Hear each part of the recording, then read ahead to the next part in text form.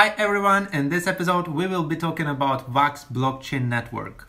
From now on, we will have a separate series about different blockchain networks. Here on Bunny Money channel, we provide you with useful information regarding finance, trading and crypto. However, keep in mind that no part of this video or any other videos on this channel is financial advice. It is provided for educational purposes only. And today we are going to talk about WAX. The reason why I decided to cover this subject is that about two months ago, while researching the app market, I discovered one popular project called Farmers World.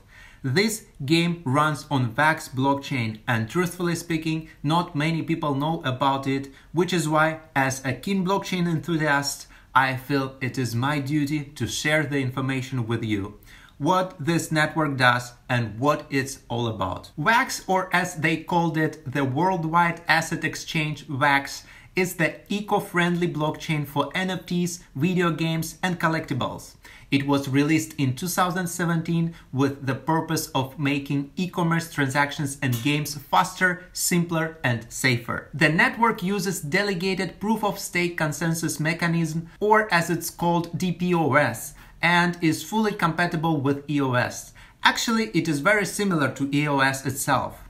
The official website of the project is on.wax.io slash wax-io slash. You can access it through CoinMarketCap's Wax details page. They have got different DApps and collectibles running on it. They also have their own marketplace where you can create, trade, buy and sell your own NFTs. Its native currency, Wax, is a coin that is currently ranked 109th with market capitalization of more than 1 billion. Wax has a circulating supply of 1.8 billion tokens as of November 2021 and a total supply of 3.8 billion Wax. The custom features and the incentive mechanisms developed by Wax are intended to optimize the blockchain's utility specifically for usage in e-commerce, with the goal of encouraging voting on proposals. To make this possible, Wax created a suite of blockchain-based tools which decentralized application, dApps, marketplaces, and non-fungible tokens can be built upon. You can buy Wax coin at any legitimate exchange,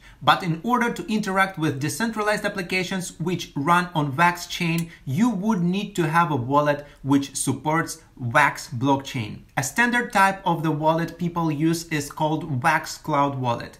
It is a cloud wallet of the Wax account. To go there, type wallet.wax.io. There you can register and create your own wallet. Here on top right side, you will see your wallet address. This address is used for sending and receiving your Wax coin. On the left side, you will see the amount of Wax your wallet has. Before we continue, there is another thing I need to explain. There is no gas fee on Wax chain. When you interact with Wax chain, you would need to buy or stake other resources.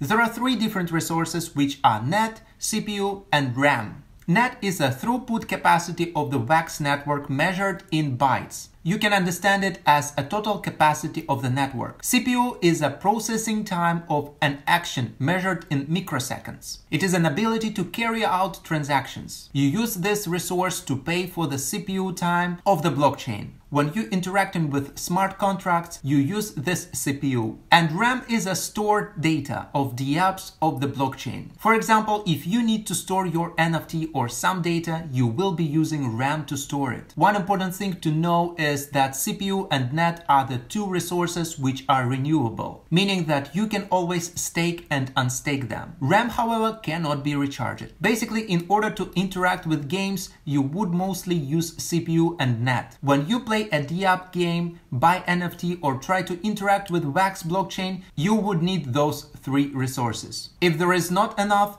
the network will notify you. When you have your Wax wallet, you always can track it through the scan site called wax.blocks.io. Here you would be able to track every transaction on Wax blockchain. Also here in the search bar, you would be able to type in your Wax account and it will show the amount of each resource on the details page. Here you can log in into the scan site using your cloud wallet. Then you can go to the wallet section. Here you also would be able to see your account's data. the available amount of wax, RAM, CPU, and NET. You can buy RAM here in the case you need to stake or unstake your CPU or NET, you can press stake CPU or NET button. And here you would be able to choose the amount you would like to stake. By pressing stake and approving stake, the amount of the resources will be processed shortly after. You can also manage your resources right in the Cloud Wallet by pressing on the resource button, choosing your resource and pressing stake. So you can stake those CPU and NET and buy RAM either on wallet.wax.io, wax.blocks.io, or when you connect your Wax account to any other wallet. You can also use an Anchor wallet, which supports connection with Wax blockchain, which is why I'm currently using. In case you have been buying some NFTs or interacting with dApps which run on Wax blockchain, there is another website you would need to use a lot called wax.atomichub.io. Atomic Hub is a website for digital assets where you can create, trade, buy, or sell NFTs. It is a standard for non fungible tokens which run on Wax chain. You can log in into the platform and create your own NFTs. Or you can search other projects, for example, Farmer's World. Then we go to the collection and on the main page we can see more information, including volume and NFTs. If you would like to know more about Farmer's World game, we will have an additional episode about it. And it's time to make an announcement. My friends and myself have spent many years in analytics and blockchain industry. Our team of amazing people has created a project designed to help you analyze DApp games. It's not a financial tool. We simply help people understand all the important data regarding DApp games because other platforms designed to do the same thing have their own disadvantages.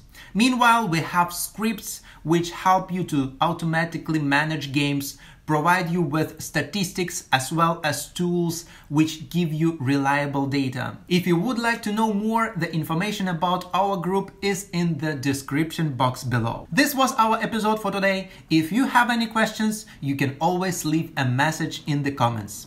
This is our Bunny Money channel. I'm Vlad. See you in the next episode.